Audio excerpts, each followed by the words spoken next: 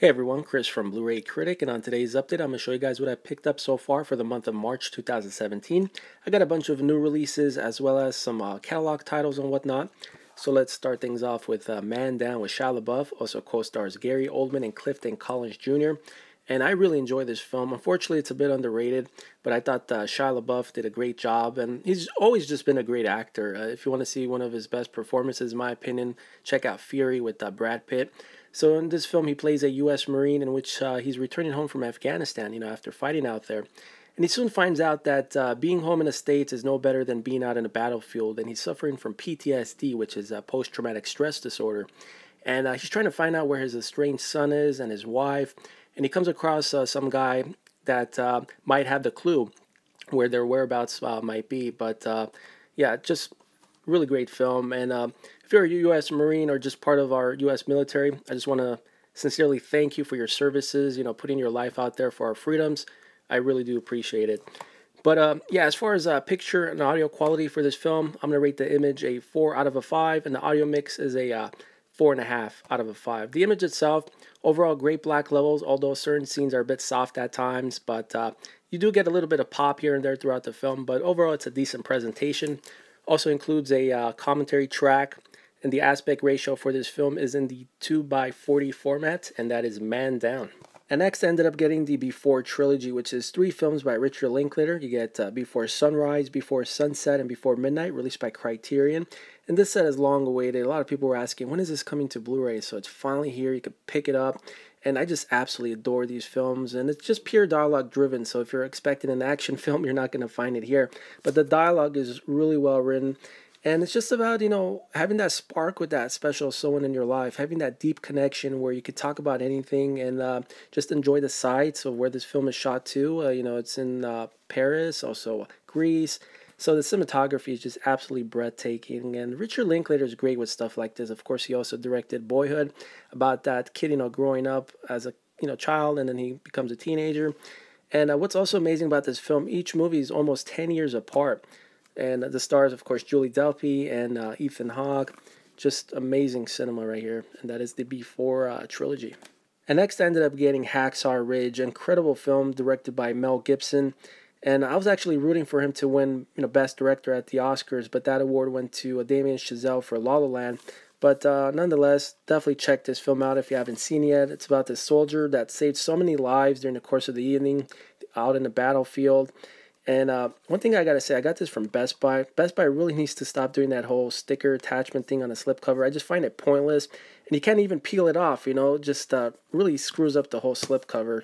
But uh, anyway, so uh, yeah, Hacksaw Ridge. And next up is Rules Don't Apply, which is written directed by Warren Beatty and also uh, stars Warren Beatty. He plays Howard Hughes, and this is a love story. I thought it's a decent film, although it's a bit of a drag in certain scenes, but I thought the cinematography is well done.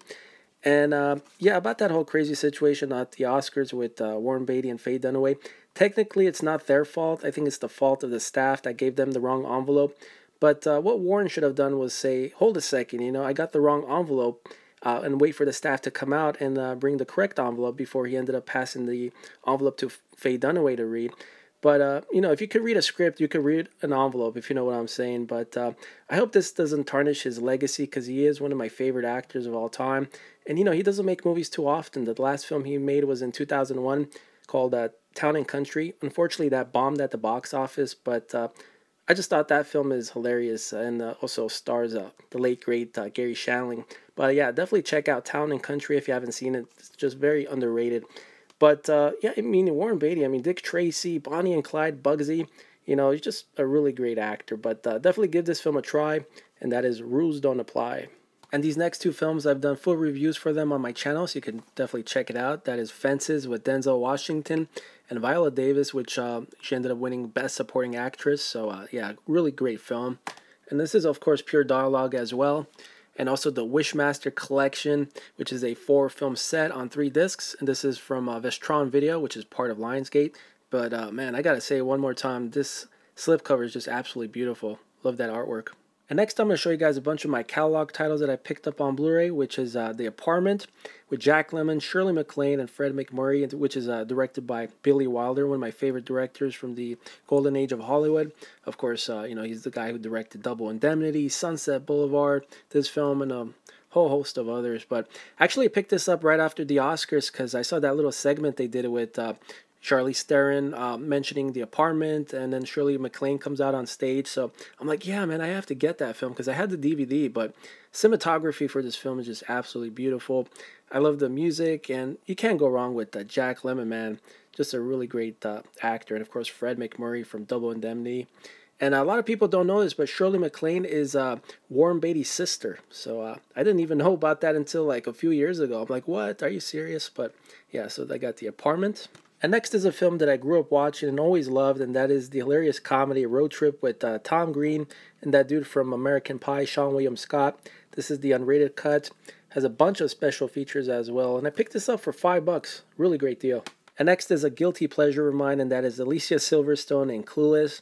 I got this for five bucks as well. Always enjoy this film, and haven't seen this one in probably like, geez, maybe like 10 years or whatever it is, but glad to own that. And next, I ended up getting Romancing the Stone with Michael Douglas and Kathleen Turner. Always enjoyed this film, although I hadn't seen it since I was a kid. Also co-stars uh, Danny DeVito, and they made that sequel too called uh, The Jewel of the Nile, which I got to pick up on Blu-ray. And uh, they made these films after the success of Indiana Jones. So uh, yeah, it's, it's fun films, man. Fun adventure movies. Of course, there's another film uh, that was recently released from all Olive Films called King Solomon's Mines, which is another uh, copycat kind of movie from Indiana Jones. But uh, yeah, so I ended up getting that. And finally, the uh, romantic comedy, You've Got Mail with Tom Hanks and uh, Meg Ryan. Yeah, it's a guilty pleasure of mine, you know. Always enjoy this one. And it's good to have a variety in my collection, so if a chick comes over, she has something to watch. But uh, anyway, thanks for taking a look. Some, uh, you know, pretty solid week of pickups here, new releases and catalog films. And um, yeah, so um, that's about it for now. Thanks for uh, watching, and I'll see you guys soon in my next update. Take care.